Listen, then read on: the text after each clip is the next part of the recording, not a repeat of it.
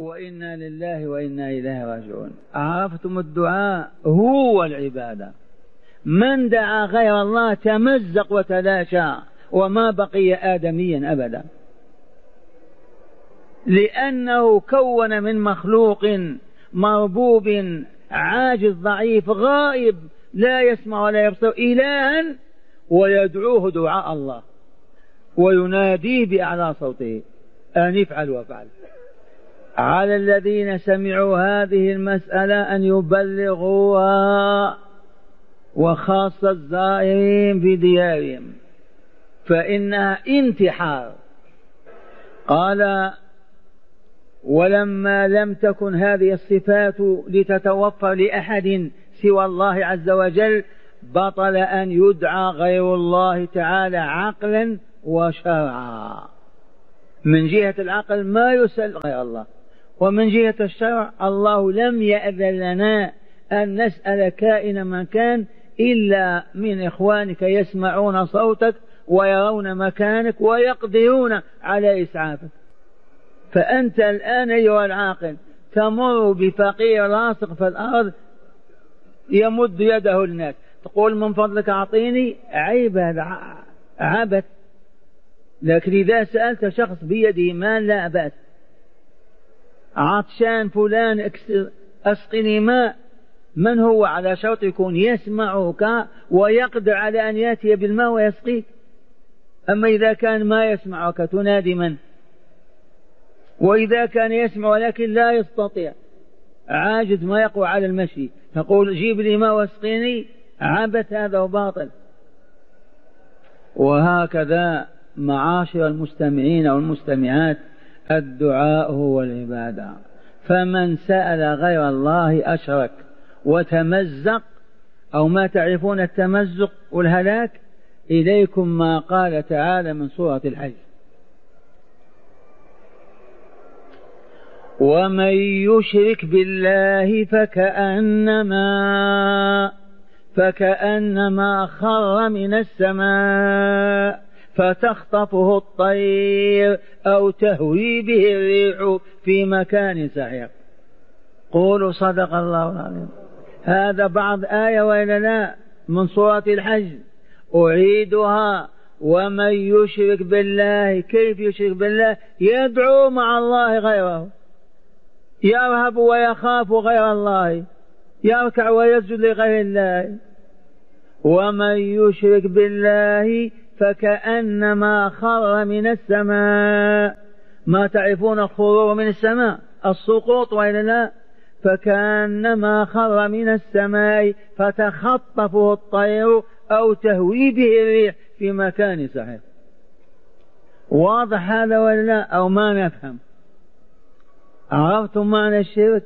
جريمته كيف جزاء صاحبه كأنما سقط من علياء السماء قبل أن يصل إلى الأرض تلقته العقبان والبازات ومزقوه فإن سلم من العقبان والبازات والطير الكاسر الريح رمته في أقصى الدنيا. ما يعثر عليه أبدا. لا إله إلا الله. هذا قرآن وإلا لا؟ ومن يشرك بالله فكأنما خر من السماء فتخطفه الطير. قراءة سبعية. فتخطفه الطير أو تهوي به الريح في مكان سحيق أبعد هذا نقول في الشرك إيش فيه؟ يقولون إيش فيه توسل.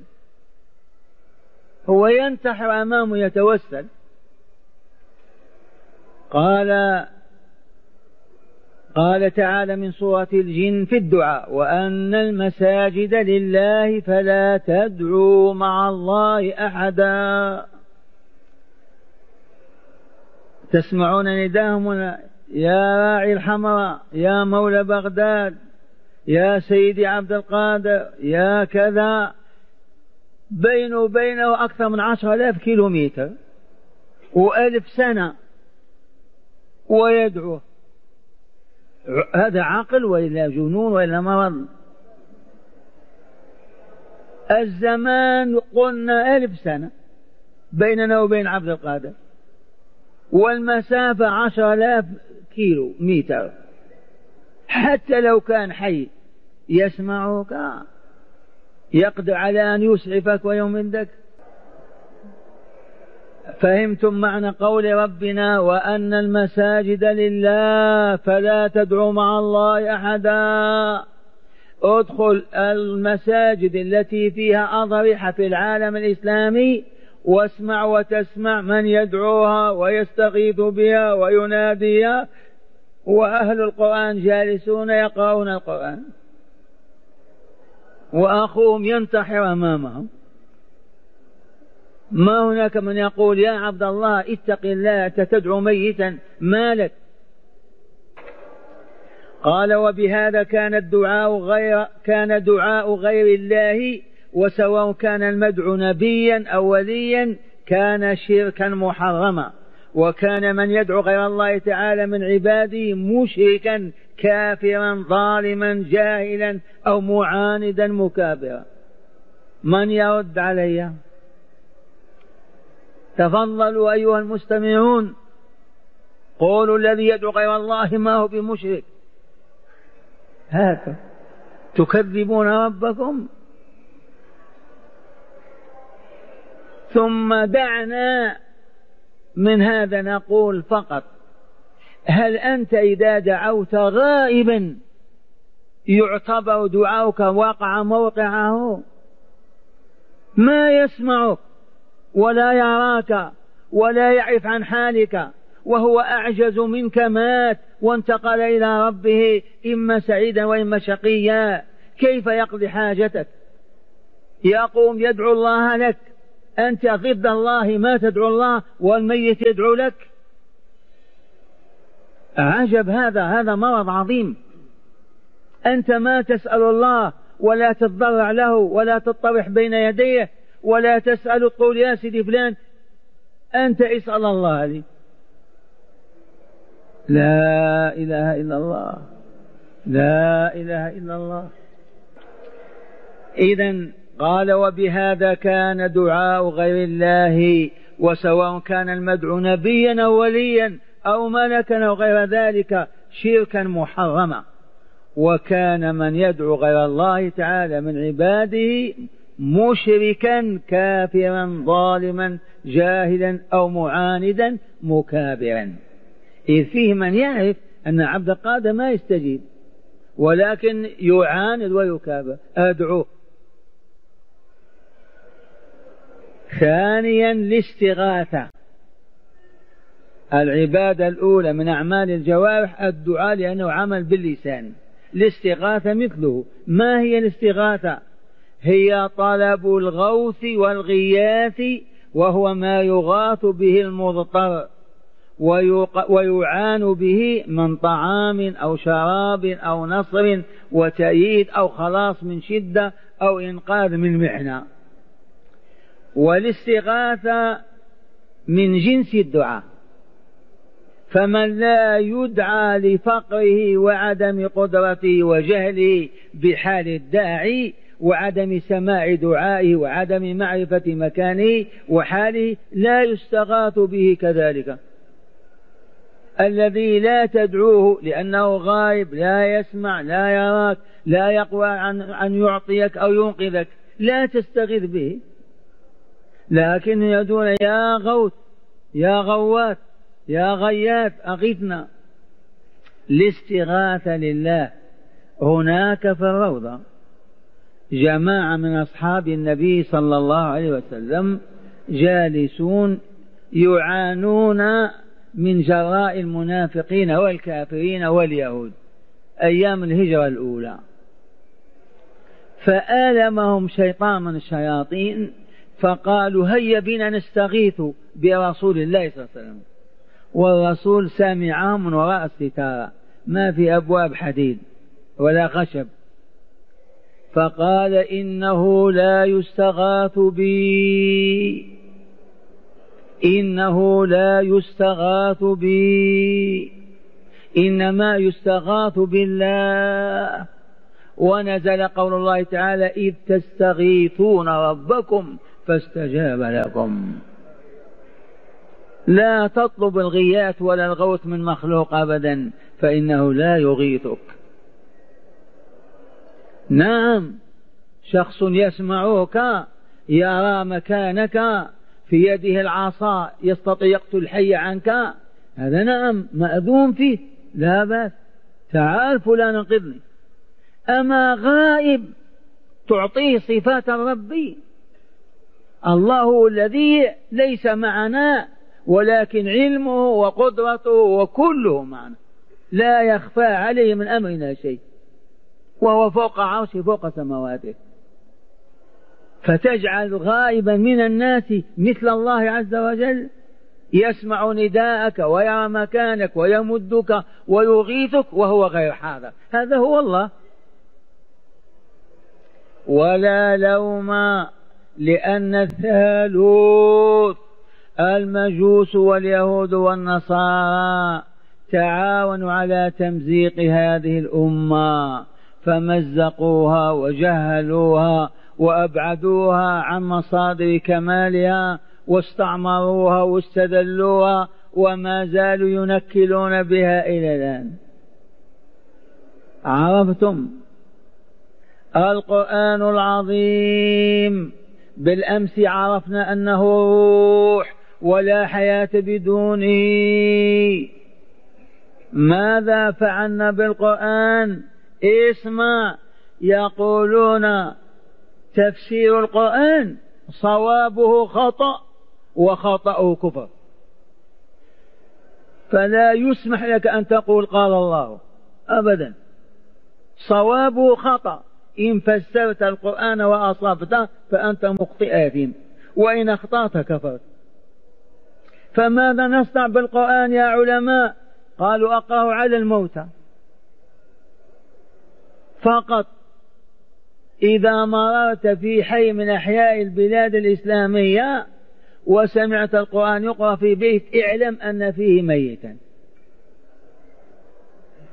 لعلي واهم لعلي كاذب لعلي يقول القرآن لا يقرأ إلا على الموتى وأكثر حفاظه لا يحفظون إلا لأجل هذه الفائدة والمصلحة. لا ليعرفوا ربهم ولا محابة ولا مساقطة فماذا بقي لنا إذا بقيت السنة. السنة عندنا تقرأ للبركة. والله العظيم لا يقرؤون إلا البركة. غضبتم وإلا لا؟ حتى في الروضة. كم بقي عن رمضان؟ نصف شهر زيادة تعال تدخل في الروضة تجد جماعة من أعيان البلاد ورجالات المال والعلم والبخار يقرأ بينهم للبركة. فهمتم ولا لا؟ وكم صحنا وبكونا أربعين سنة. انتهوا؟ ما انتهوا. البخاري يقرأ للبركة. كيف هذه البركة هذه؟ البخاري تعاليم سماوية بيان أحكام الشريعة في العقائد والعبادة والمال والسياسة والحرب والآداب والأخلاق. شرائع إلهية. نقراها للبركة وهذا ليس عندنا في المدينة في كل أنحاء العالم الإسلامي يدرسون البخاري للبركة. عرفتم كيف وضعنا أنفسنا؟ والآن الذي يسمع كلام الشيخ هذا يلعن يسب يا كذا إلى أبعد حد. كأننا أموات ما نشعر أبدا. لم تسب وتعير؟ تعال اسمع افهم. أنت مؤمن وإلا لا؟ أنت مدعو إلى كتاب الله وسنة رسوله. لكن عرفنا الاستغاثة. قال وهي أي الاستغاثة من جنس الدعاء.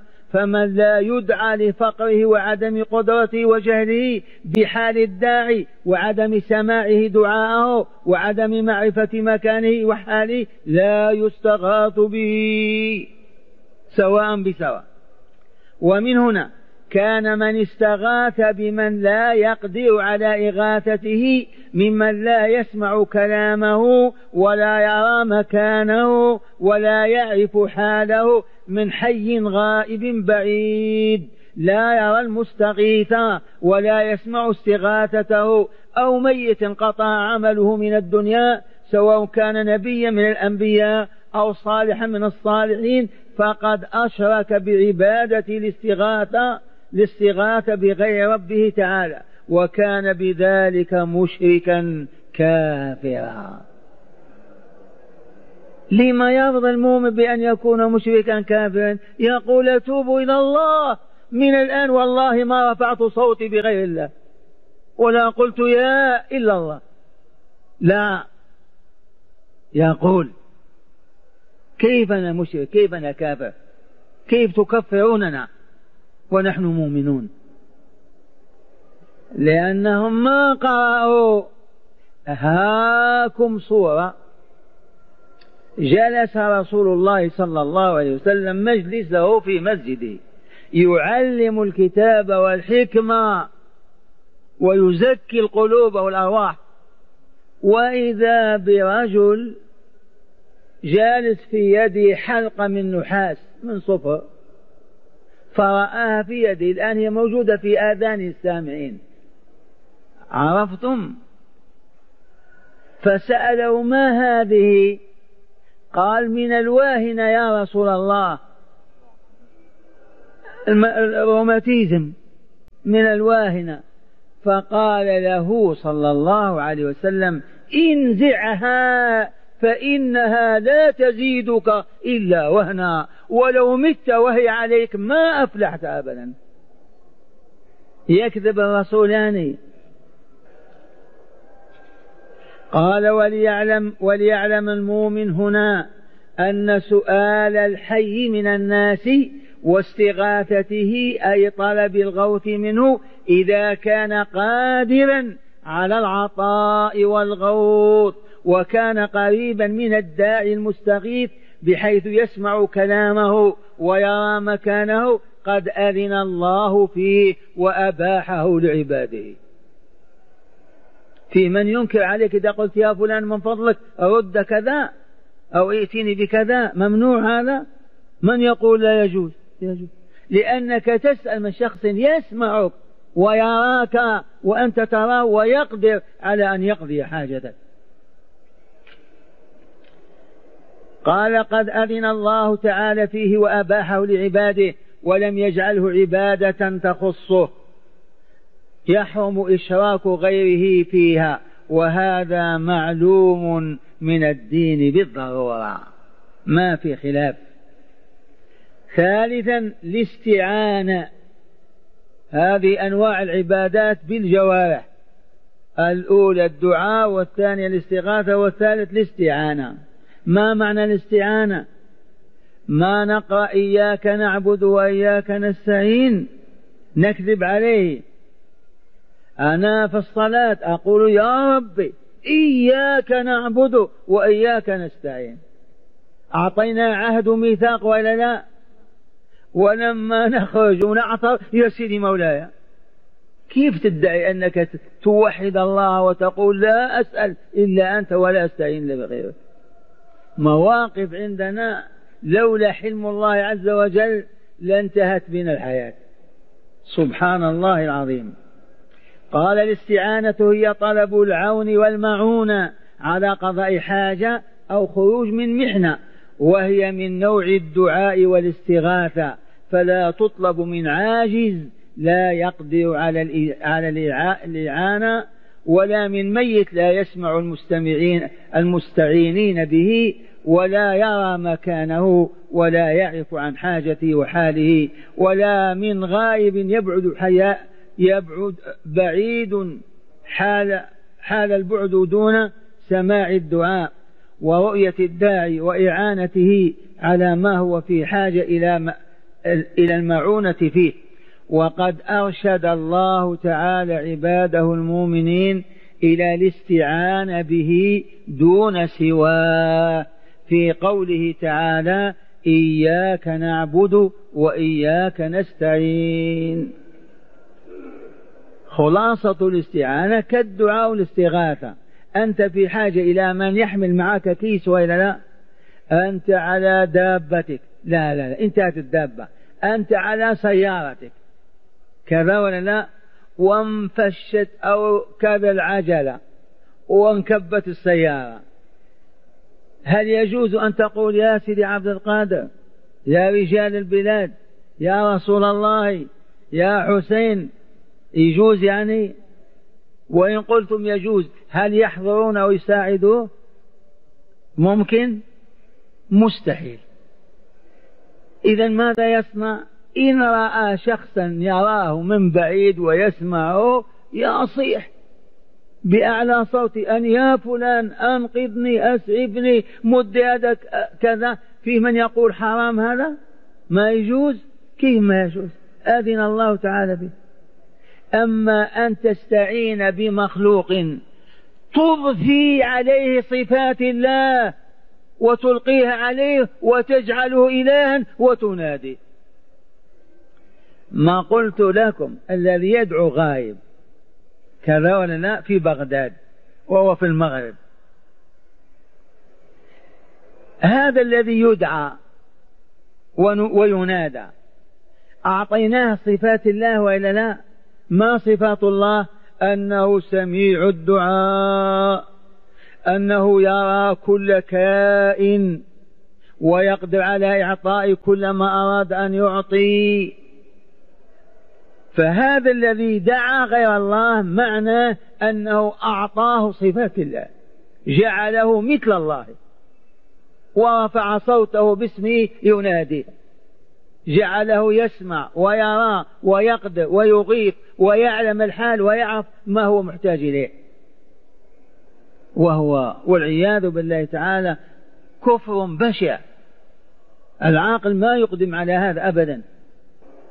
قال ومن هنا كان من وأوصى رسول الله صلى الله عليه وسلم عبد الله بن عباس رضي الله عنهما أن يستعين بالله دون سواه في قوله له إذا سألت فاسأل الله وإذا استعنت فاستعن بالله. هذا رسول الله صلى الله عليه وسلم. يقول لابن عمه وهو غلام زكي يا عبد الله إذا سألت فاسأل الله وإذا استعنت فاستعن بالله أي إذا سألت حاجة فاطلبها من الله وإذا طلبت عونا على مسألة فاطلب العون من الله. والرسول يقول بقول ربه ما دام الله قال إياك نعبد وإياك نستعين فالرسول صلى الله عليه وسلم يأخذ من القرآن ويعلم. ذي نصيحة قدمها لابن عمه يا عبد الله إذا سألت فاسأل الله وإذا استعنت فاستعن بالله. ومن هنا كان طلب العون طلب العون ممن لا يقدر عليه من الأحياء لعجزهم أو غيبتهم كطلبها من الأموات لموتهم وانقطاعهم عن الحياة. كان هذا ضلالا وباطلا وكان فاعله مشركا بالله تعالى في هذه العبادة من عبادات الله التي لا تنبغي لأحد سواها ألا وهي الدعاء والاستغاثة والاستعانة.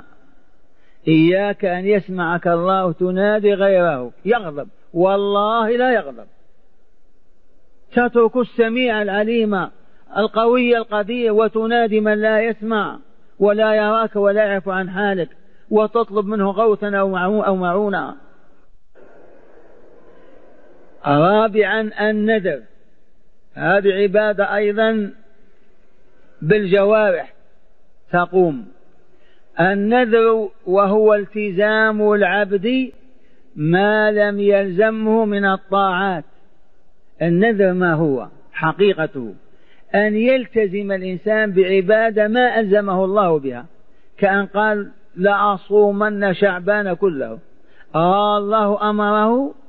أراد أن يتقرب إلى الله؟ التزم. إذا قال لك يا رب أن أصوم هذا الشهر؟ يجب أن يصوم. إذا قال لك يا رب أن أخرج من كل مالي؟ وجب أن يخرج. أعطى لله عهدا يتقرب إليه. النذر التزام العبد بما لم يلزم بما يلزم بما لم يلزمه من الطاعات. وبعبارة أوضح هو التعهد بالقيام بشيء من العبادات تقربا إلى الله تعالى. أو بشرط أن يقضي الله تعالى له حاجة تعسرت عليه وما استطاعها يريد قضاءها.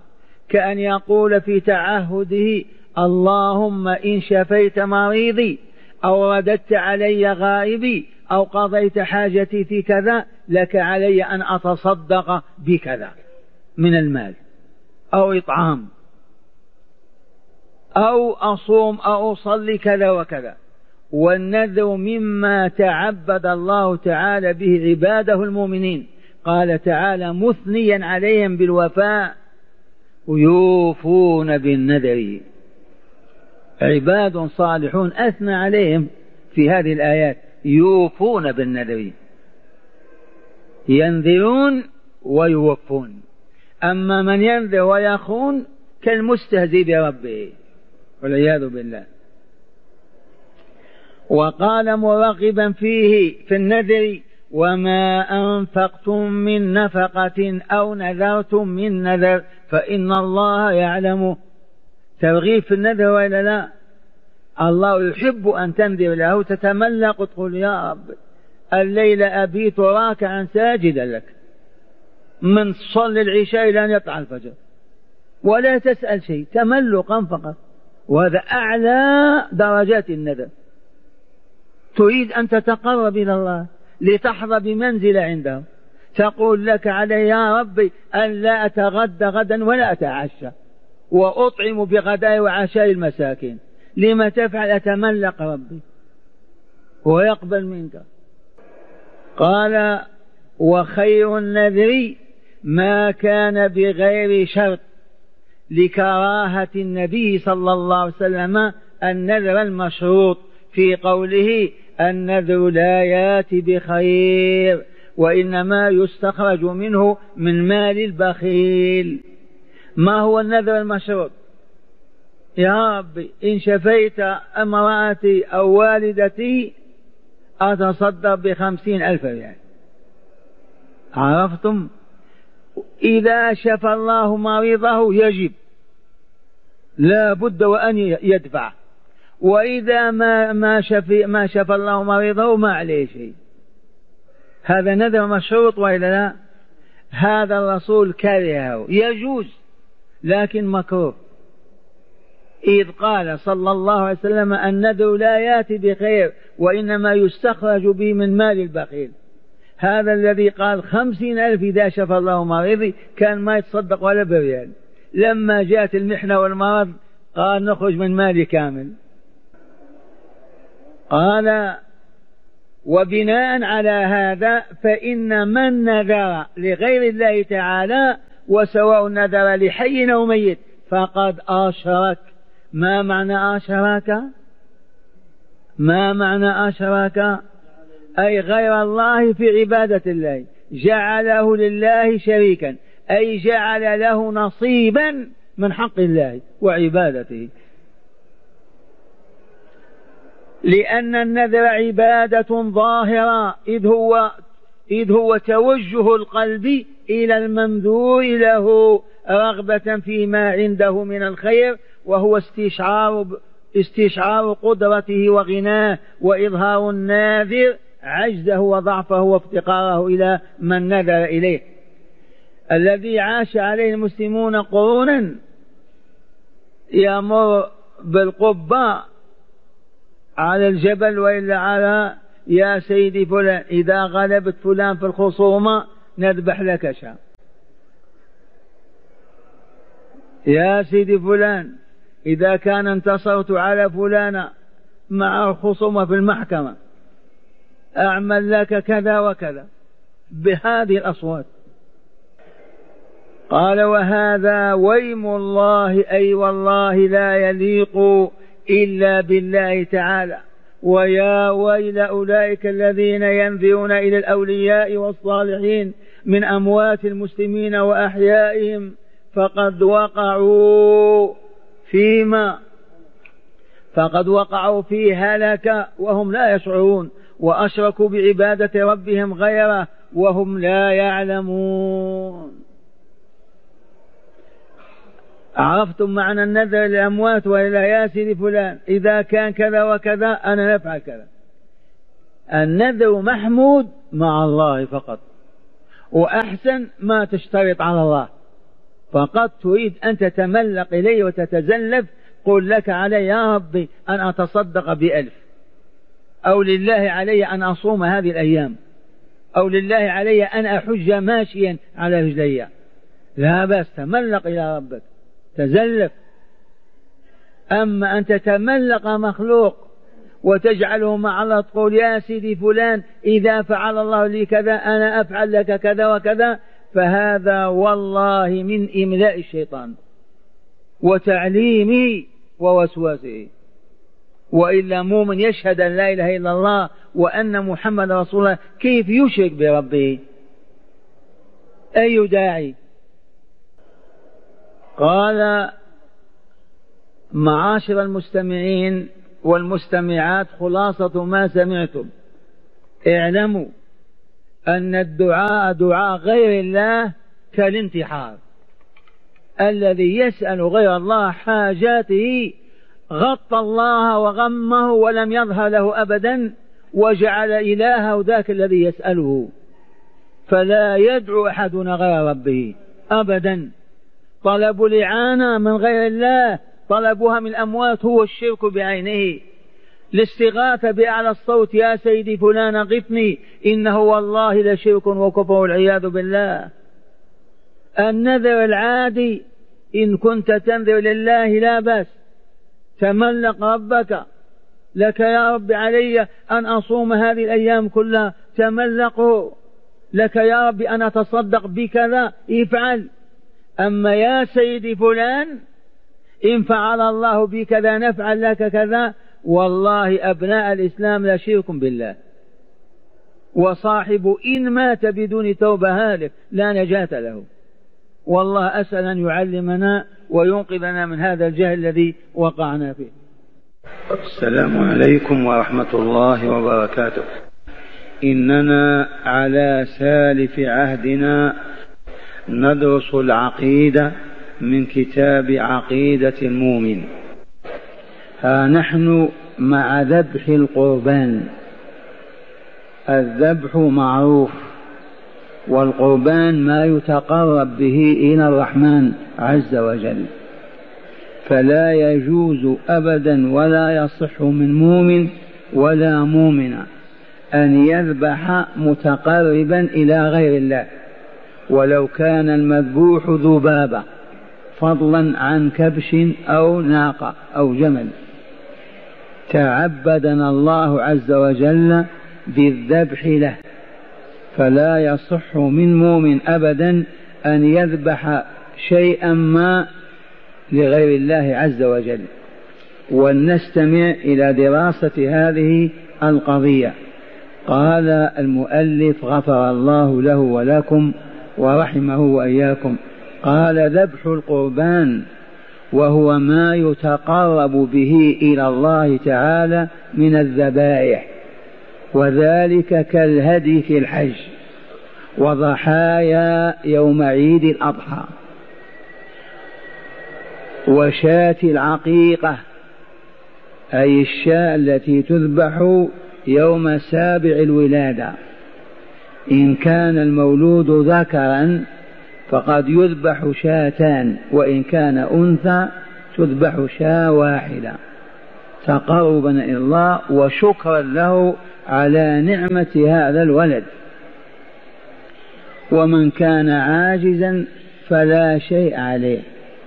إذ هذا الواجب وهذه السنة تتعين مع القدرة. أما مع العجز فلا شيء عليه. قال وشاة العقيقة يوم سابع المولود وذبائح وليمة العرس.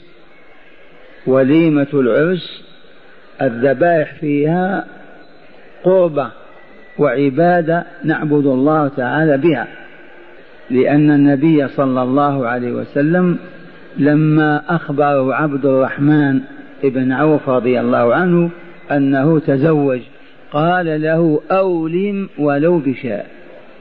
أولم أي أقم وليمة ولو تذبح فيها شاة واحدة. فهذه الشاة التي يذبحها المؤمنون في الزواج في العرس هي من العبادات لأن الرسول صلى الله عليه وسلم هو الذي شرعها وبينها. فلهذا هي من جملة العبادات. قال وما يذبح صدقة على الفقراء والمساكين أيضا. ما يذبحه المؤمن ليطعم الفقراء والمساكين هو من العبادة. إذ إطعام الفقراء والمساكين عبادة. وذبح الشاة لتوفير اللحم عبادة أيضا. قال كل هذا قد شرعه الله تعالى في كتابه وعلى لسان رسوله صلى الله عليه وسلم. إذا أعيد هذه الجملة. يقول المؤلف ذبح القربان وهو ما يتقرب به إلى الله تعالى من الذبائح كالهدي في الحج وضحايا يوم عيد الأضحى وكشاة العقيقة يوم سابع المولود وذبائح وليمة العرس وما يذبح صدقة للفقراء والمساكين. كل هذا قد شرعه الله تعالى في كتابه أي القرآن العظيم وعلى لسانه صلى وعلى لسان رسوله محمد صلى الله عليه وسلم. فكان لهذا لهذا الذبح تقربا وعباده فكان لهذا نعم فكان هذا الذبح تقربا وعباده لا تنبغي إلا لله تعالى. ومن ذبح لغير الله تعالى معظما له أي لمن ذبح له خائفا منه أو راجيا طامعا فيما عنده فقد عبده فقد عبده, بهذه العبادة وأشركه في عبادة الرب جل وعز. قال وهنا يحسن التنبيه والتنديد معا بما يفعل أهل الجهالات من المسلمين اليوم. لما عرفنا أن هذه الذبائح لا تحل إلا لله ولا تنبغي إلا لله عز وجل. اذا ننبه إلى ما يفعله أهل الجهل من هذه الذبائح ويصرفونها لغير الله عز وجل. قال ومما يحسن التنبيه والتنديد معا. ما بما يفعل أهل الجهالات من المسلمين اليوم من ذبائح على الأضرحة. أضرحة الأولياء والقبور في أيام الموالد والمواسم تعظيما لمن يذبحون لهم وتقديسا ورغبة في شفاعتهم وطمعا فيهم وتوسلا بجاههم. فهذه الذبائح لا تصح أن تذبح لهؤلاء ولا يجوز ذبحها ومن تعمدها بعد العلم فقد أشرك في عبادة الله غير الله عز وجل.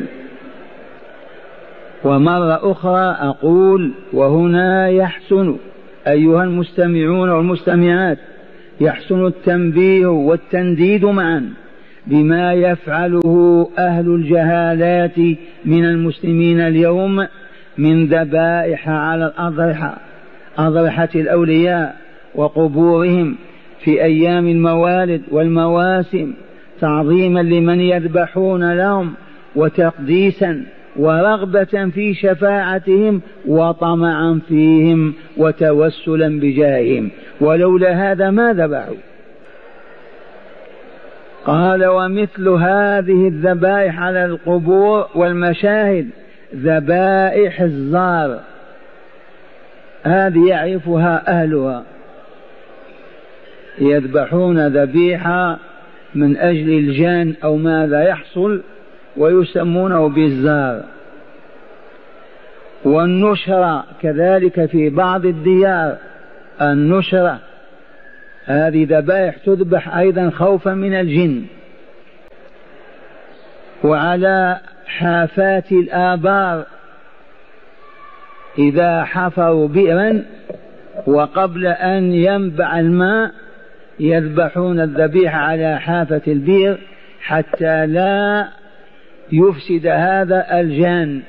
فخوفا من الجن يذبحون هذه الذبائح على حافات الآبار. وكذلك عتبات المنازل خوفا من الجن. إذا بنى أحدهم المنزل لا يدخله ولا يسكن فيه إلا بعد أن يذبح على العتبة الشاة والشاتين. لما خوفا من الجن أن يؤذيهم أو يضرهم؟ فيتوسلون إليه ويرضونه بالذبح. فهذا والله لمن الشرك الأكبر. لا يشك فيه ذو دين وعقل. أقول ومثل هذه الذبائح على القبور والمشاهد ذبائح الزار والنشر وعلى حافات الآبار وعتبات المنازل خوفا من الجن. إن هذه الذبائح كلها شرك وكفر والعياذ بالله تعالى من ذلك. والذي ورط بعض المسلمين فيها الجهل. ما عرفوا. لو جلسوا مجلسنا هذا وعلموا كما علمنا الآن والله ما يفعلون. ولكن لا علم ولما ما تعلمنا هذا هو الذنب الأول. لو طلبنا العلم لحصلنا عليه. إذا ذبح القربان عبادة تقوم بها الجوارح لا القلب. فمن ذبح لغير الله فقد أشرك في عبادة الله وأغضب الله تعالى عليه. ولو مات بعد أن علم أن هذا مبغض لله وأنه شرك ولا يصح وتعمده فقد مات على الشرك والعياذ بالله. ومن مات مشركا لا رجاء في أن يغفر له ويرحم. إذ الله تعالى صرح في آيتين من كتابه. قال تعالى إن الله لا يغفر أن يشرك به. ويغفر ما دون ذلك لمن يشاء. وفي مواجهة الرسول صلى الله عليه وسلم يقول تعالى ولقد أوحي إليك وإلى الذين من قبلك يعني من الأنبياء والرسل. ماذا؟ لئن أشركت ليحبطن عملك ولا تكونن من الخاسرين. إذا أعيد القول. نحن نذبح متقربين إلى الله بالذبائح كهدي الحج كضحايا العيد كإطعام الفقراء والمساكين والضيوف أيضا المؤمنين. ونذبح أيضا متقربين إلى الله عز وجل ولكن الذبح لغير الله هو والعياذ بالله كالانتحار. ومما هو معروف لدى كثير من الأبناء والإخوان أن أهل الجهل في العالم الإسلامي ما زالوا يذبحون على الأضرحة والقباب يذبحون على الموتى يذبحون على الأبيار إذا حفروها يذبحون على عتبة المنازل قبل أن يسكنوها خوفا من الجان أن يضرهم ويؤذيهم بدل أن يخافوا الله خافوا الجن. وتقربوا إلى الجن. لو أن مؤمنا لما بنى منزلا شكر الله تعالى فذبح لله وأطعم الفقراء والمساكين ما لامه أحد وما زاد أن شكر الله عن هذه النعمة. حفر بيرا وخرج الماء واستفاد منه وانتفع أراد أن يشكر فذبح الفقراء والمساكين كان عمله طاعة وشكر لله. أما أن يذبح خوفا من الجن بدل أن يخاف الله يخاف من من مخلوقاته فهذا هو ضعف العقيدة بل وفسادها. سادسا الركوع والسجود من العبادات التي تقوم بها الجوارح. ولا تصح ابدا أن تصرف لغير الله. قال إن عبادة الركوع والسجود ظاهرة معروفة. يزاولها المسلمون كل يوم في حياتهم. إذ هما ركنا الصلاة. اللذان لا تصح الصلاة بدونهما. فمن صرف ركوعا لغير الله أو سجودا لغير الله هلك احترق. فمن صرف ركوعا لغير الله أو سجودا لغير الله هلك احترق. إن عبادة الركوع والسجود عبادة ظاهرة يزاولها المسلمون كل يوم في حياتهم. إذ هما أي الركوع والسجود ركعة ركنا الصلاة اللذان لا تصح الصلاة بدونهما. وقد تعبد الله تعالى بهما سائر عباده المؤمنين. فقال تعالى يا أيها الذين آمنوا اركعوا واسجدوا واعبدوا ربكم وافعلوا الخير لعلكم تفلحون. فقوله اركعوا واسجدوا عبادة الركوع والسجود فرضها الله وتعبد بها المؤمنين. فمن ركع لغير الله كائن من كان فقد أشرك في عبادة الله غير الله. ومن خر ساجدا على الأرض تعظيما لمخلوق فقد أشرك في عبادة الله غير الله. وبذلك لو لم يتداركه الله بالتوبة قبل أن يموت لكان من الخالدين في جهنم. قال وأمر وأمر مريم بنت عمران به في إخباره عنها بقوله يا مريم اقنتي لربك واسجدي واركعي مع الراكعين. يا مريم اقنتي لربك واسجدي واركعي مع الراكعين. المراد من هذا أن الركوع والسجود عبادة تعبدنا الله بها فلا يصح أبدا أن يعبد بها غير الله فلا يحل لمؤمن أن يركع لآخر ولا أن يسجد بين يديه. إذ الله تعالى تعبد عباده بهذه العبادة. وقد عرفنا أن الركوع والسجود ركناي الصلاة فلا تصح بدونهما. والآية الأولى فيها الأمر بالركوع والسجود والآية الثانية لمريم عليه السلام ناداها ربها يا مريم اقنتي لربك ربك واركعي واسجدي واركعي مع الراكعين. قال وأمر رسوله بالسجود طلبا للتقرب منه فقال تعالى في خطاب رسوله محمد صلى الله عليه وسلم واسجد واقترب واسجد واقترب والركوع معروف في الصلاة والسجود أن تمكن جبهتك وأنفك من الأرض. ومن هنا كان الركوع وهو الانحناء انحناء الظهر في اعتدال مع الرأس والسجود وهو وضع الوجه على الأرض. كان عبادة لا تنبغي لأحد مهما كان شأنه إلا الله إلا لله تعالى. ومن ركع لأحد أو سجد له معظما إياه أو طامعا فيه أو خائفا منه وليس بمكره على ذلك فقد أشرك بربه. هذا المخلوق. أما في حال الإكراه فالله عز وجل قال إلا من أكره وقلبه مطمئن بالإيمان.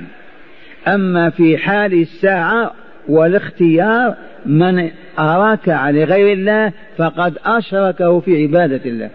من سجد على الأرض لغير الله تعظيما أو خوفا ومهابة أو طمعا فقد أشرك بعبادة الله. قال ومن هنا كان الركوع وهو الانحناء والسجود وهو وضع الوجه على الأرض كان عباده من العبادات التي لا تنبغي أبدا لأحد مهما كان شأنه إلا لله عز وجل.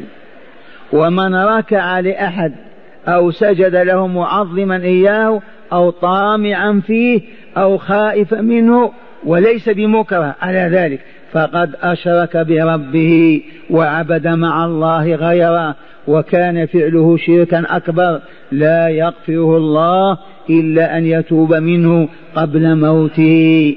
لقول الله تعالى إن الله لا يغفر أن يشرك به. ويغفر ما دون ذلك لمن يشاء. ومن يشرك بالله فقد ضل ضلالا بعيدا.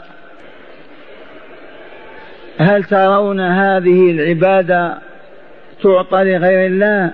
يوجد. يوجد من يركع أمام الحاكم تعمدا. ويوجد من يخر ساجدا. لأمه أو أبيه كما يقولون. ويوجد من يخر ساجدا أو راكعا عند دخول إلى الضريح لولي من الأولياء. والله يدخل راكعا. ومن مظاهر هذا في بعض الألعاب يسمونها الكراتين الكراتين على كل يركعون ركوعا كما نركع لله في الصلاة. هذا مشاهد ومع الأسف يعملها شبان المؤمنين والمسلمين تقليدا للكافرين. ووالله لا تصح ولا يجوز أبدا ولا يحل رضا بها بحال من الأحوال. إنها عبادة لغير الله. سابعا من العبادات التي تقوم بها الجوارح. الطواف بالبيت العتيق وتقبيل الحجر الأسود. الطواف بالبيت عبادة تعبد الله بها المؤمنين والمؤمنات. تقبيل الحجر الأسود بالفم عبادة تعبد الله بها المؤمنين والمؤمنات. قولوا نعم. إذا فمن طاف بغير البيت فقد أشرك بعباده الله. فمن قبل حجرا أو بابا أو حديدا فقد عبد مع الله غيره. الطواف بالبيت البيت العتيق بمكة وتقبيل الحجر الأسود عبادة. قال إن الطواف عبادة شرعها الله تعالى لعباده. وأمرهم بها في قوله وليطوفوا بالبيت العتيق. ولقد رأينا الجهل والله يطوفون بأضرحة الأولياء طوافا.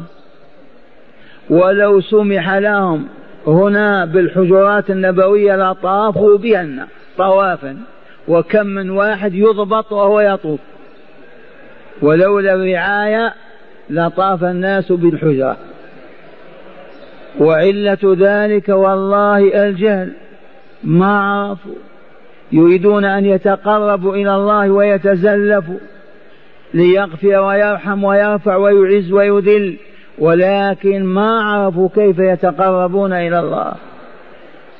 يضادون الله عز وجل وهم يحسبون أنهم يتقربون إليه. ما علة هذا؟ ما سببه؟ الجهل. إلى متى ونحن جهال؟ ننتظر حتى ينزل علينا كتاب ويبعث فينا نبي نتعلم الكتاب موجود والنبي موجود. لما إذا ما تعلمنا؟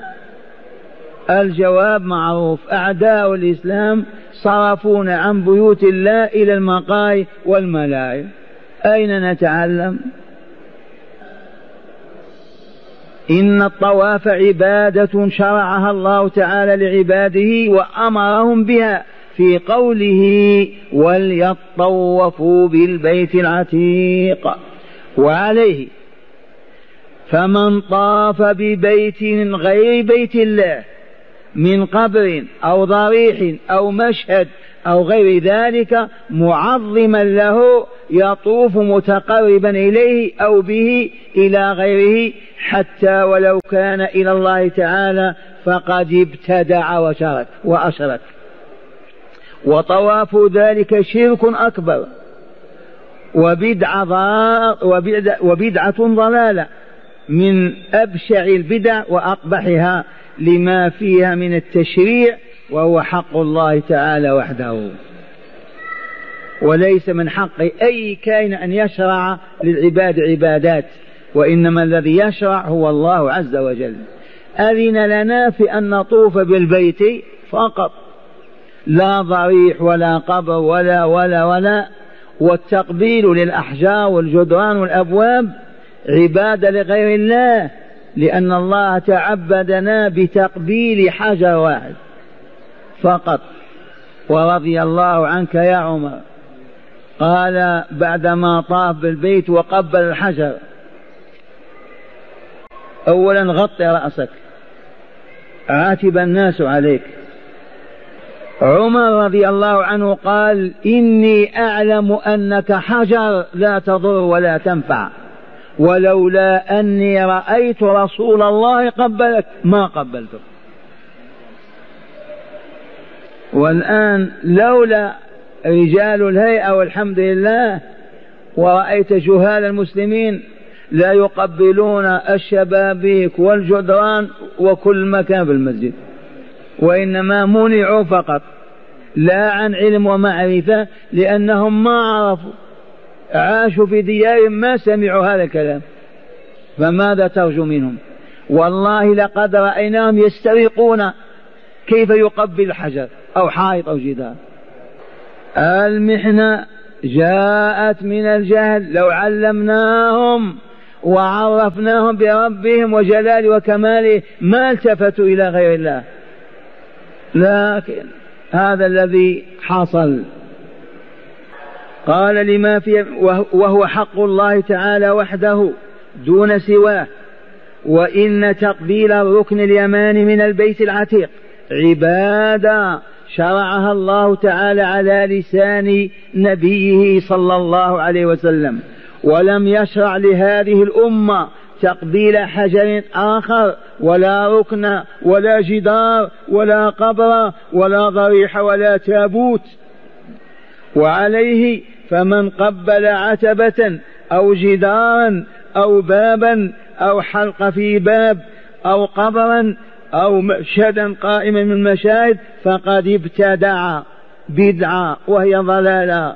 وإن فعل ذلك تعظيما لما قبله وتقديسا راجيا منه النفع دافعا به الضر فقد أشرك والعياذ بالله.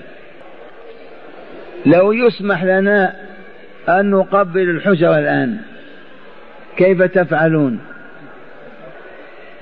الذين عرفوا كما عرفتم أنتم والله ما يقبلون ولو يعطون آلاف الدنانير ولكن الذين لا يعلمون إذا قال ثامنا سائر أنواع العبادات سائر أنواع العبادات. قال إن كل ما شرع الله لعباده من الطاعات والقربات ليعبدوه بها.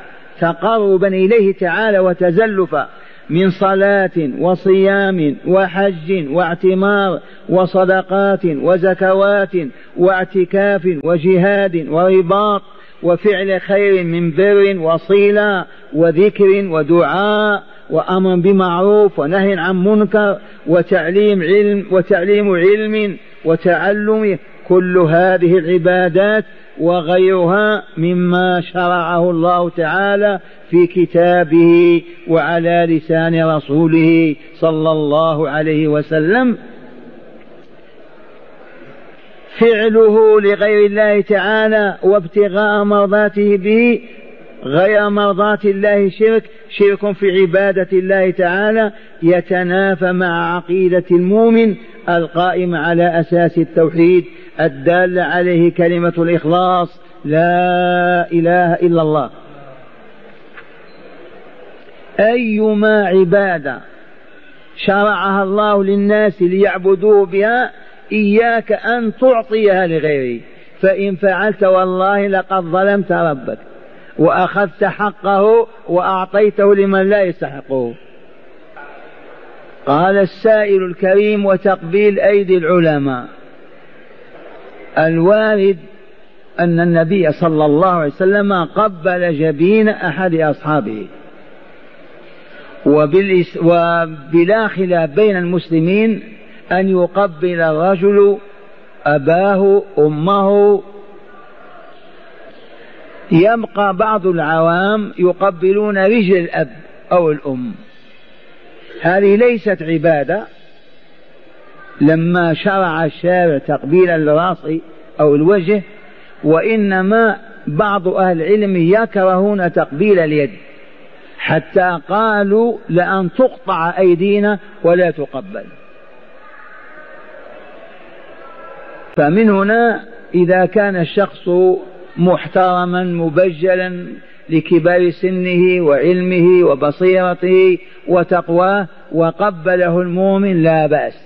لأنه قبله من أجل الله. أكرم من أكرمه الله وقدر وعظم من عظم الله. ومع هذا تركه أولى. نحن أعطانا الرسول المصافحة والمعانقة. إذا جاء أخوك من بعيد قم له واحتضنه ولا حرج. وإذا كان معك في القرية ولقيته ولقيك المصافحة. صافح تتحاط أو تتحات الذنوب كما يتحات ورق الشجر كبير السن من أفاضلنا كالشيخ عبد العزيز بن باز قبل رأسه ولا تتحرج قال تاسعا ترك طاعة الله للرغبة أو الرهبة هذا مظهر من مظاهر الشرك. أن يترك المؤمن عبادة الله طمعا في شخص لأنه يتأذى بهذه العبادة أو يكرهها يترك العبادة لأجل أن ينال من هذا الشيء من هذا المبجل أو من أجل أن أن يدفع عنه غضبه وسخطه. أقول ترك طاعة الله مثلا. جلس القوم مجلسا. وحان وقت الصلاة. فالواجب أن أن يقوم المؤمن يصلي. فهذا المؤمن خاف أن يزعج من معه من المنافقين أو الفاسقين أو الضالين. فترك الصلاة من أجلهم. حتى خرج وقتها. خوفا منهم أو طمعا. أحيانا يكون طامعا فإن يعطى شيء. فلا يخاف فيخاف أن يزعجهم فيمنعوه من ذلك العطاء. فتركه العبادة رغبة أو رهبة من إنسان هو الشرك بالله. قال ترك طاعة الله للرغبة أو الرهبة لقد أمر الله تعالى بطاعته وطاعة رسوله صلى الله عليه وسلم بقوله من سورة القتال يا أيها الذين آمنوا أطيعوا الله وأطيعوا الرسول ولا تبطلوا أعمالكم. فطاعة الله وطاعة رسوله في الأمر والنهي عبادة بلا جدال. تعبد الله تعالى بها المؤمنين من عباده. فمن ترك طاعتهما غير مكره. أما بالحديد والنار فشيء آخر إلا من أكره وقلبه مطمئن بالإيمان. لكن في حال الساعة وعدم الإكراه فمن ترك طاعتهما غير مكره من أجل أحد من خلق الله كائن من كان رغبة فيما عنده أو رهبة مما لديه فقد أشرك والعياذ بالله. يحصل في بعض الحالات يجلس الفساق يشربون الخمر. إذا فهذا الطامع أو الخائف في هذا المجلس يشرب معهم. لما يخاف إذا ما يشرب لما ما تشرب أنت؟ يخاف إذا قال لا تشربوا كذلك يؤذونه. فيذل ويهون معهم ويعصي الله تعالى ويطيعهم. نعم في حال الإكراه تشرب وإلا الرصاص في رأسه يشرب أو العصا على جلدي وظهري أما في حال الاختيار فيعصي الله طاعة لمخلوق فقد أشرك وعبد غير الله. قال فطاعة الله وطاعة رسوله في الأمر والنهي عبادة لا شك فيها. تعبد الله تعالى بها المؤمنين والمؤمنات من عباده. فمن ترك طاعتهما أي طاعة الله ورسوله غير مكره. أما المكره فلا. غير مكره وإنما أطاعهما من أجل من أجل أحد من خلق الله كائن من كان. رغبة فيما عنده وطمعا أو رهبة وخوفا مما لديه من أنواع العذاب. فقد أشرك وشركه لطاعة الله تعالى وطاعة رسوله صلى الله عليه وسلم وهو غير مكره رغبة أو رهبة في في من أطاعه شرك. إذ الطاعة في المعروف فقط.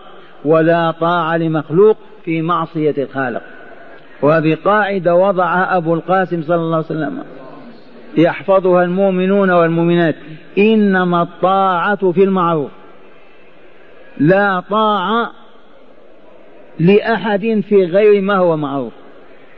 فمن هنا بعض الناس يحلفون بالرئيس وحق الزعيم ورأسك. تعظيما وتبجيلا وإكبارا. وما يدون أن هذا شرك. وبعضهم يحلف برأس أمه وأبيه وهو لا يدري. الطاعة للآباء للأمهات للأمير للإخوان فيما هو شرع ومأذون فيه. أما شيء حرمه الله تطيع المخلوق فيه إذا عبدت المخلوق وعصيت الخالق. مرة ثانية أقول فطاعة الله وطاعة رسوله صلى الله عليه وسلم في الأمر والنهي عبادة. تعبد الله تعالى بها المؤمنين من عباده فمن ترك طاعتهما غير مكره. من أجل أحد من خلق الله كائن ما كان رغبة فيما عنده أو رهبة مما لديه فقد أشرك. وتركه فقد أشرك وتركه لطاعة الله تعالى وطاعة رسوله صلى الله عليه وسلم وهو غير مكره رغبة أو رهبة في من أطاعه شرك. إذ الطاعة في المعروف فقط ولا طاعة لمخلوق في معصية الخالق.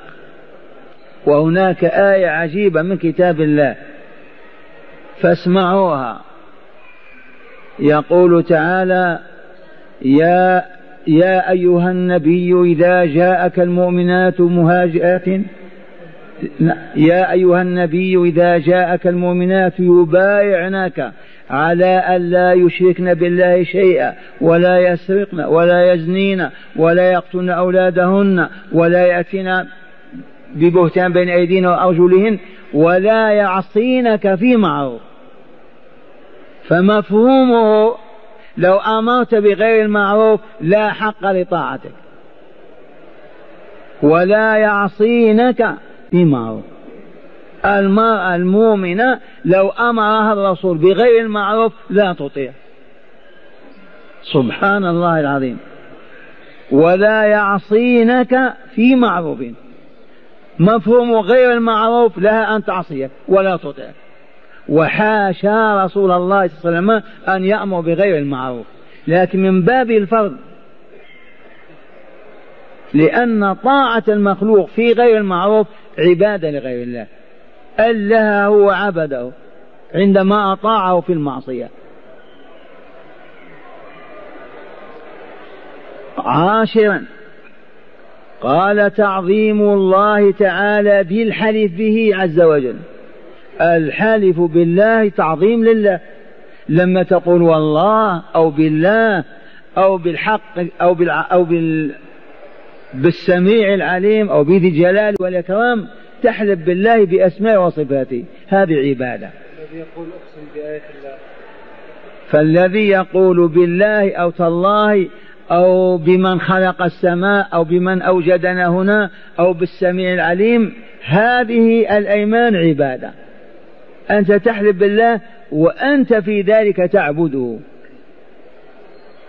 فلهذا يقول أحد الأئمة لأن أحلف بالله كاذبا خير أن نحلف بغير الله صادقا.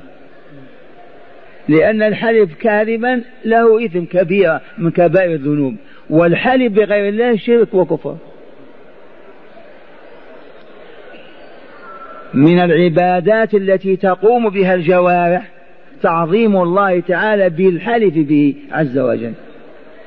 احلف بالله ولا تتحرج. على شرط أن تكون صادقا فيما تحلف عليه.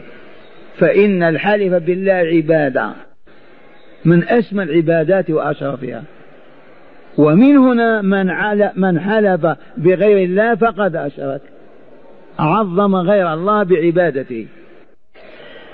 ولا تجعلوا الله عرضة لأيمانكم. هذه لها معناها.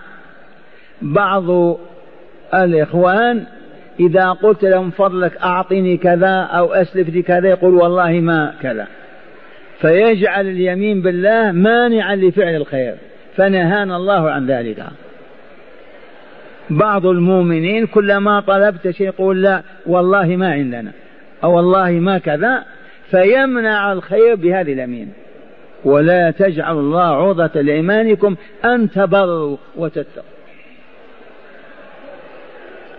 قال إن تعظيم الله عز وجل بتكبيره والحلف به وإجلاله تبارك وتعالى عبادة تعبد الله بها المؤمنين من عباده. فلذا لا يجوز الحلف بغيره تعالى. والله لا يجوز الحلف بغيره تعالى ومن حلف بغير الله تعالى فقد أشرك. ما معنى أشرك؟ أوجد عظيما عظمه كما يعظم الله جعله شريكا لله في التعظيم. وهذه فتنة ما نجا منها من العالم الإسلامي إلا من رحم الله إلا من عرف. وإلا تجدهم يحلفون بغير الله في كل شيء.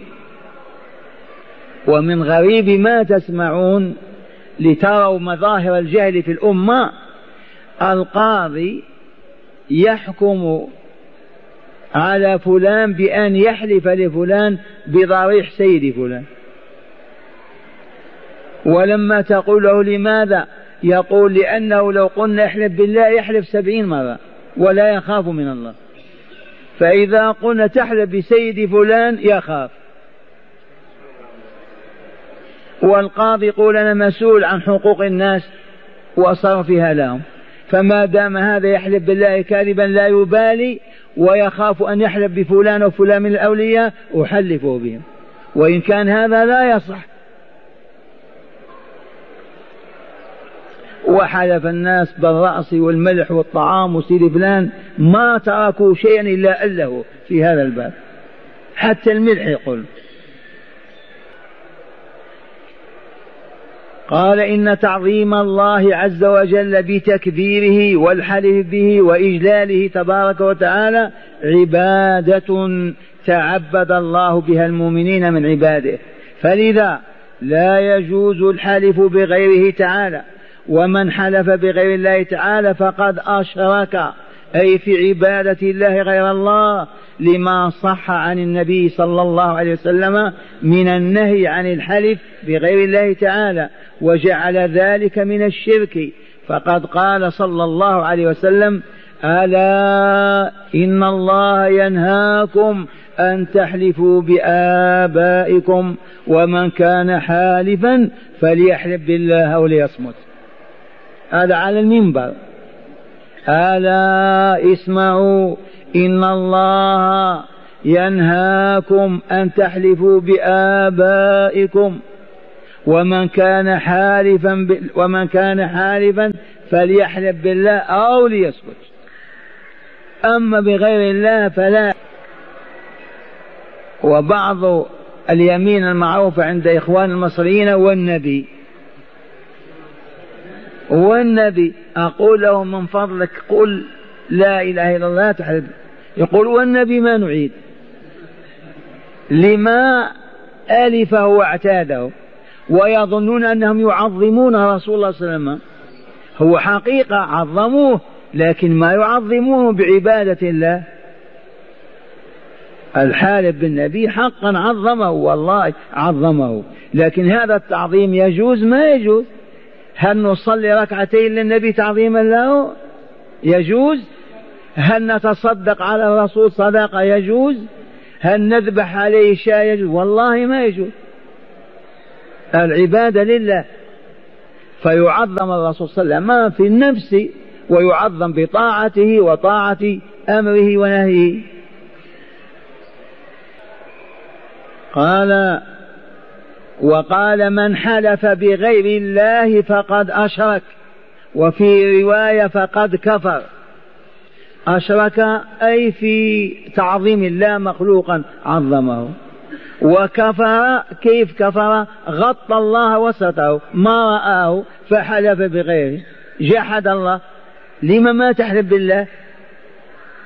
ما دام ما حلف بالله وحلف بشيء بشيء من الأشياء معناه غطى الله وجحده. ما اعترف به. قال هذا ولما كان الكث نعم. وقال صلى الله عليه وسلم من حلف في فقال في حلفه واللات والعزى فليقل لا إله إلا الله. هذه علاج للمشكلة. تدرون وتعلمون أن المسلمين على عهد الرسول ما دخلوا في الإسلام في يوم واحد أو في عام واحد. متفاوتون. منهم من أسلم من أسبوع فقط. ثلاثة أيام. فإذا به صلى الله عليه وسلم يطالع أو يرى حدثا غير معتاد فيسمع الرجل يقول ولات كما كان في الجاهلية أو العزى وآخر يقول تعالوا قامرك لأن أهل مكة كانوا يعيشون على القمار. لكن ليس كقمار الجاهلين والضالين قمار أشرف. كيف؟ البعير على على الصفا أو دون المروة ويلعبون القمار من من يربح منهم يأخذ البعير ويتصدق به على الفقراء والمساكين. لا يأخذون ابدا من القمار فائدة إلا أنهم يطعمون الفقراء والمساكين والحجاج. أما قمار العالم اليوم قبل اليوم من أجل الحصول على المال. هذا القمار لما ألفوه ما يشعر أحدهم حتى يقول تعالوا قامرك.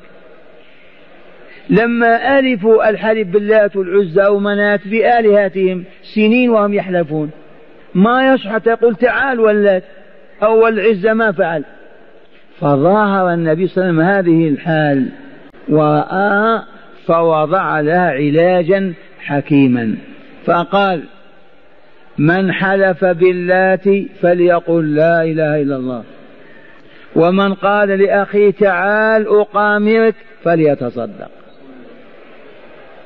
ومعنى هذا معاشر المستمعين والمستمعات من يجري على لسانه كلمة والنبي أو الكعبة أو المصحف أو سيدي كذا وهو ما يقصدها. لكن آلفها واعتادها فأصبح تجري على لسانه بما يكفر لا إله إلا الله تمحوها. قال والنبي وبعد ذلك شعر قال لا إله إلا الله. أو قل له أن تقول لا إله إلا الله. ومن قال تعال نلعب القمار وهو ما هو قاصد لكن جرى على لساني لمدة طويلة كان يأتي القمار. فليتصدق بصدقة. لم يحددها النبي صلى الله عليه وسلم فأيما صدقة تجزي. وتمحو ذلك الأثر. والذي يقول يا حبيبي يا رسول الله هذا بهلول. يا حبيبي يا رسول الله ماذا تريد من رسول الله؟ إذا فليقل لا إله إلا الله وأتوب إلى الله. قال هذا ولما كان الكثير من الشرك الذي وقع فيه بعض المسلمين اليوم وقبل اليوم إنما وقع باسم التوسل والاستشفاع والتبرك. لو تبحث عن الذين يحلفون يذبحون يعكفون يتقربون إلى الله بالقبور لكان الجواب أننا نتوسل إلى الله ونستشفع فقط ما عبدناهم لذاتهم وهذا باطل ولا يصح. نحن أمرنا بالوسيلة. يا أيها الذين آمنوا اتقوا الله وابتغوا إليه الوسيلة. مأمورون أن نتوسل إلى الله لأن سعادتنا بيده وشقانا بيده وحياتنا بيده كيف لا نتوسل إلى الله؟ من ذا الذي يستغني عن الله حتى لا يتوسل إليه؟ كل مؤمن ومؤمنة طول حياته يتوسل إلى الله. يبقى كيف نتوسل إلى الله؟ نتوسل إلى الله بفعل ما يحب وبترك ما يكره. إذا بلغك أن الله يحب الكلمة الفلانية تملقه بها ورددها على لسانك حتى يرضى عنك أو يقضي حاجتك. وما أكثر الوسائل التي نتوسل بها إلى الله ذو الحاجة الملهوف يتوضأ ويقوم في بيته يصلي ركعتين ويسأل حاجته.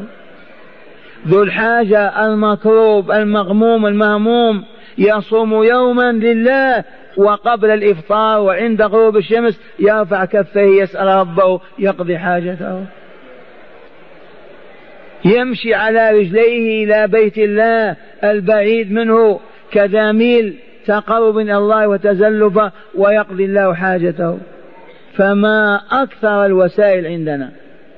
ولكن مع الأسف توسلوا وسائل ما تنفع. أغضبوا الله ويظنون أنهم يتوسلون إليه.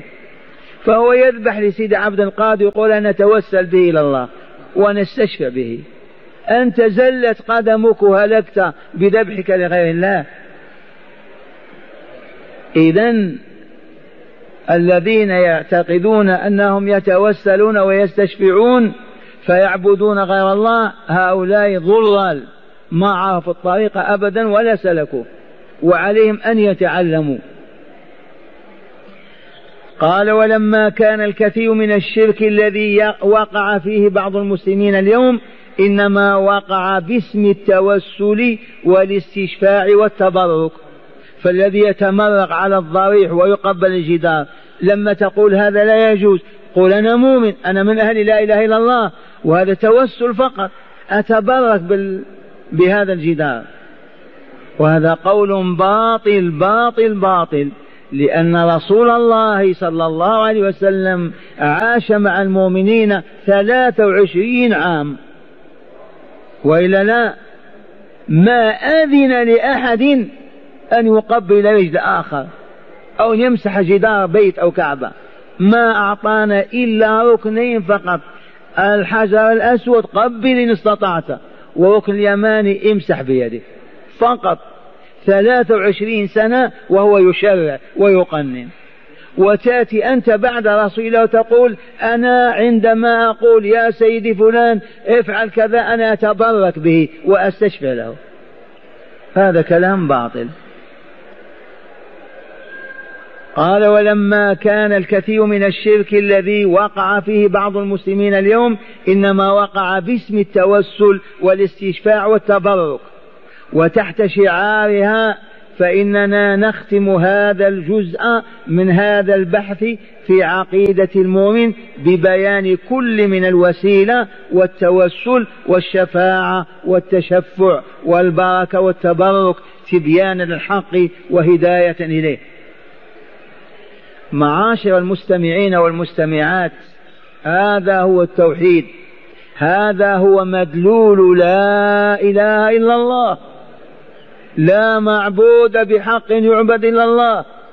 كيف نعبد ربنا بما تعبدنا به؟ نصلي ونصوم ونرابط ونجاهد ونذكره ونرفع كفنا إليه ونسأله ونتملقه بذكره. هذه هي العبادات. فمن صرف منها لغير الله شيئا فقد أشرك في عبادة ربه. وهلك وتمزق. وقلت لكم كثير من هذه الأمة في قرون مضت. يعيش رجل وهو من أهل القرآن وهو يتوسل ويستشفع بغير الله ويذبح لغير الله. بل عندنا مثال المسبح في يده يذكر الله. لا إله إلا الله لا إله إلا الله لا إله إلا الله. لما يسو تسقط المسبحة من يده يا سيدي فلان. لاحظتم هذه ولا لا؟ المسبحة في يدي يذكر الله ولم يذكر سوى الله أبدا. لا إله إلا الله. لما تسقط المسبحة من يده ماذا يفعل؟ يا رسول الله. أو يا سيدي فلان.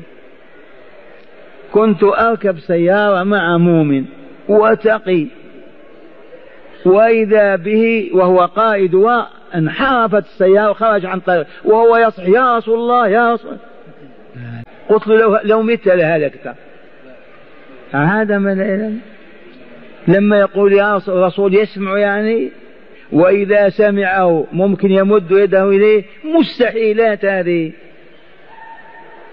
وهذا يا عبد القادر وهذا يا سيدي فلان. والله منسي. ما هو السبب في هذا؟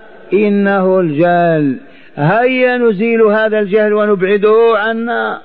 العلم متوفر والعلماء متوفرون والكتب ملأت المكاتب ملأت الأرض. هيا ما الطريق؟ عرفتم ونسيتم. الطريق أن أهل الحي في مدينتهم أهل القرية في قراهم.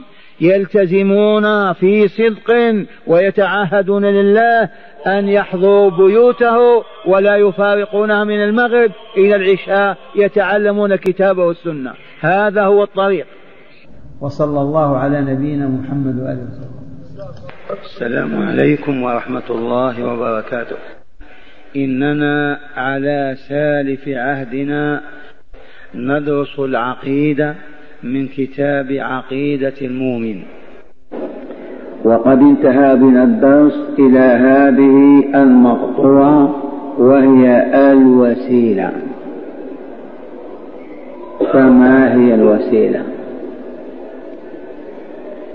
قال المؤلف في بيان الوسيلة الوسيلة لغة أي في اللغة اسم مشتق من فعل هو وصل إليه بكذا يسل وسيلة فهو واسل أي تقرب ورغب. الوسيلة مشتقة فعلها وسل يسل إليه كتوسل يتوسل إليه إذا تقرب ورغب منه في شيء. وذلك إذا عمل عملا تقرب به إليه. فلان توسل إلى فلان. بمعنى عمل عملا تقرب به إليه. كان أهدى إليه هدية أو قام بعمل من أجله من أجل أن يحصل على رغبته منه. إذا فالمتوسل والواسل بمعنى واحد. فلان متوسل إلى الله فلان واسل إلى الله بمعنى واحد. قال أبو طالب عم النبي صلى الله عليه وسلم الجاهلي قال في لامية موجود هذه اللامية تسمى لامية أبي طالب. جاء فيها قوله أرى الناس لا يدرون ما قد أمرهم بلى كل ذي دين إلى الله واسل. كل ذي دين إلى الله واسل أي متوسل إلى الله بدينه الذي يتعبد به ويتقرب. أرى الناس لا يدرون ما قد أمرهم بلى كل ذي دين إلى الله واسع. قال وتجمع الوسيلة على وسائل. وسيلة ووسائل. قال وشاهد ذلك كما في قول لبيد. ولما رأيت القوم لا ود فيهم وقد قطعوا كل العراء والوسائل. والشاهد من قوله والوسائل.